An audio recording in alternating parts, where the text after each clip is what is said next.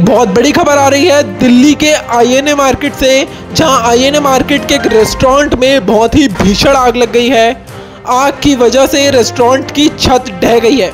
जिसके बाद छह लोगों की घायल होने की सूचना दी जा रही है। दमकल विभाग की गाड़ियाँ मौके पर मौजूद हैं और आग पर लगातार काबू करने की कोशिश कर रही हैं। आईएनए मार्केट में भीषण आग लगने के बाद छत गिर गई है और छह लोग घायल बताए जा रहे हैं, जिसमें से एक घायल लोगों में से रेस्टोरेंट के मालिक भी शामिल है।